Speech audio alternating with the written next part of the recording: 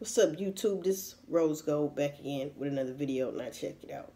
Another shooting at T.I. Studio. Now I remember back, back uh, what was it, like June? It was in the summertime. He uh he had a shooting at that same damn studio, uh, which he owns.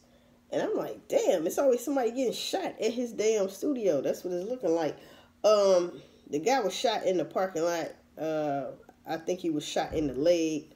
Uh, I don't know what started it or if it was an altercation. Um, the police are reporting that it was some type of, you know, people trying to break in cars and stuff like that. So I really have no idea. All it's being reported basically is, uh, you know, a person got shot. You feel me? So that's what I'm saying. T.I. Studio. This happened before at T.I. Studio. You see what I'm saying? This happened before and I can't even remember if that if that person passed away or not. But I, uh, yeah, that was strange too.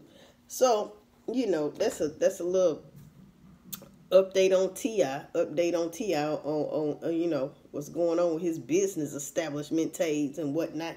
Yeah, so that's what it's looking like, people. Somebody has been shot in the parking lot outside of Atlantic Atlanta Record Studio. All right recording studio owned by T.I. Message.